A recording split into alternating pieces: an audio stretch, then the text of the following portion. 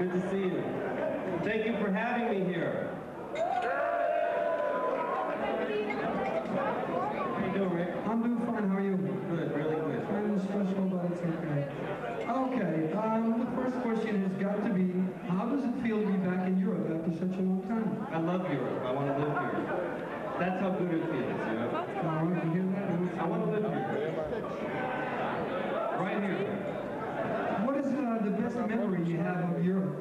Uh, you know this one. It's the hot when Holland, uh, we played Holland in It 1983. was Brussels, yeah. It was Brussels. Yeah.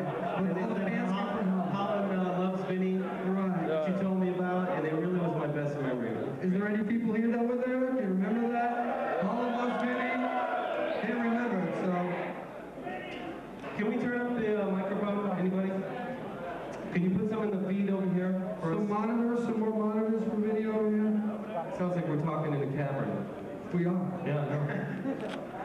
Okay, uh, the Lick It Up tour in Europe. Can you tell me how that started, how the first show started? I believe it was in Lisbon, Portugal. Lisbon was the first show, and um, it, you know, we, it was a, it was brand new. You know, we had no makeup on. It was the first contest in the band with no makeup, and uh, I think it was still a, a new experience for the band because we took the makeup off and tried it in Europe first. And Portugal was uh, actually a pretty hot show. I remember it was Lisbon was the first show, and uh, we were great. You know, I, re- I remember that you know it was a real successful feeling because we were so good. Okay. Um, what was your favorite tour with Kiss? Uh, they both had uh, their their ups and downs. You know, the the Lick It Up, we were more of a band because we had been together longer. Uh, the Creatures of the Night tour was was tentative because you know we're, they were getting used to a new guitar player, which really changes the sound of a band. And um, but I had also written I Love It Loud, Killer, and I Still Love You, which were really key parts of the of the Creatures album. So I think overall, Lick It Up was just more comfortable because I think the band enjoyed the feeling of not wearing the makeup, having a different kind of an audience, and uh, it was a new freedom. You know, it was a new, a lot of new press happening because, uh, you know, it was worldwide press. You know, we took the makeup off, had a new record, and Lick It Up I think was a great record. So the band felt really comfortable taking the makeup off. And uh, I think we were more comfortable as a band because we were they were getting to know me. I contribute a lot of songs to Look It Up. So I think Lick It Up would been more would be my answer as far as the better of the tours. Okay. Um, I'm sure you've heard about the news of the reunion tour. Kiss is going to do a full makeup reunion tour. What do you think of that? I think Kiss is a great band, and you know they never let anybody down. You know. You know what I'm saying, you know, you wanted the best, you got the best, and um, you know, Gene and Paul have really high standards. Uh, Ace and Peter have high standards, and I think they're going to want to get together and make it great for everybody. I think even I, I have even uh, a bigger mental picture in my mind. I'd even like to see the whole Kiss story as an event, you know, from the beginning to where it is now, and have all the periods of time of the band, and and including the makeup, and have it, you know, move ahead. But I think either way it goes, uh, they're gonna kill you live, and I think when you see the band again with the makeup on, you're gonna you're gonna shit yourselves. It's gonna be great. It's gonna be great. It's gonna kick ass. All right. Can you um, give us an impression of uh, the direction Kiss was taking right before you started writing on Creatures of the Night and Lick It Up? What you? Yeah, we were talking about that in the car, and uh, um, uh, when I remember coming into the band, there was the elder period, and I think they lost a lot of fans, and, and I think they were they cut the hair and things.